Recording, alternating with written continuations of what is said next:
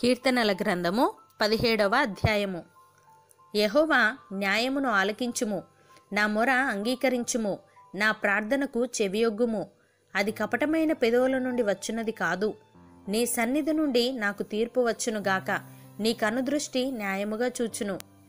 రాత్రివేళ నీవు నన్ను దర్శించి నా హృదయమును పరిశీలించితివి నన్ను పరిశోధించితివి. నీకు ఏ దురాలోచనయు కానరాలేదు. నోటి మాట చేత నేను అతిక్రమింపను.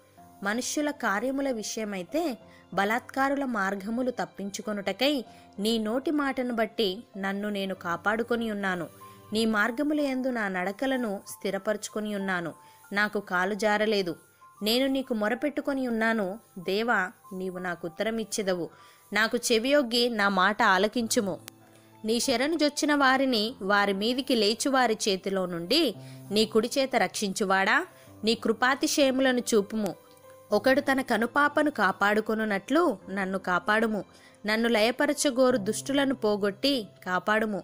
నన్ను చుట్టుకొను నా ప్రాణ శత్రువుల చేత చిక్కకుండను నీ రెక్కల నీడ క్రింద నన్ను దాచుము. వారు తమ హృదయమును కఠినపరుచుకొని ఉన్నారు. వారి నోరు గర్వముగా మాటలాడును.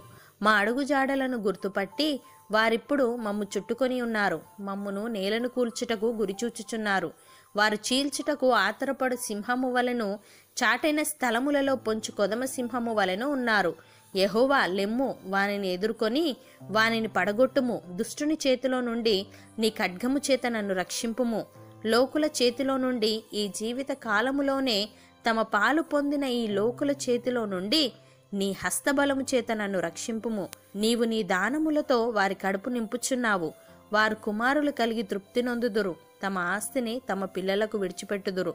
నేనైతే నీతిగలవాడనై నీ ముఖదర్శనము చేసేదను. నేను మేల్కొనున్నప్పుడు నీ స్వరూప దర్శనముతో నా ఆశను తీర్చుకొందును.